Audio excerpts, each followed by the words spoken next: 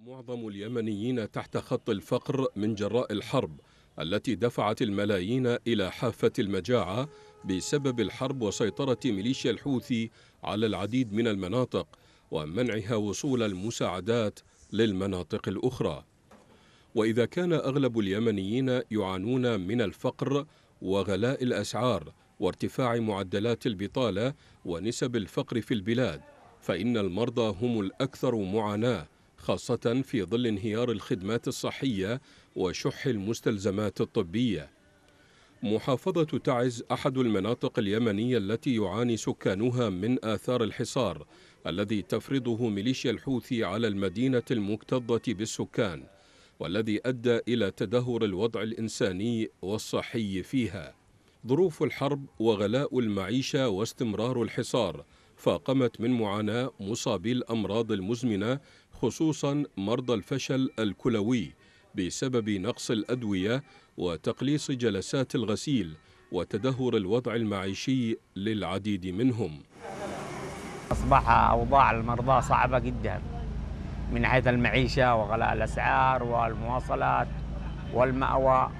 تمام؟ وبنك الحال يعني لا يستطيع المريض أن حتى العلاج ارتفع سعره يعني إلى أضعاف خمسة أضعاف ستة أضعاف.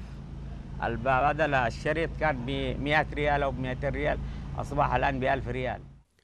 مدير مركز الغسيل الكلوي في مستشفى الثورة بتعز فهم الحناني أكد أن المركز بأمس الحاجة إلى أجهزة غسيل كلوي وقطع غيار للأجهزة الموجودة. نستقبل بمعدل 80 إلى 88 مريض في اليوم الواحد. أصبحنا الآن نعاني من احتياجات شديدة مثل مادة الديزل وخاصة هذه الأيام لا يتوفر مادة الديزل وهذا قد يؤدي إلى توقف المركز عن القيام بعملية الغسيل هؤلاء المرضى. وكمان نحن بأمس الحاجة إلى أجهزة غسيل كلوي وقطع غيار لأجهزة الغسيل الكلوي ومحطات خاصة بالغسيل الكلوي حيث أن لنا فترة طويلة لم نقوم باستبدال هذه الأجهزة.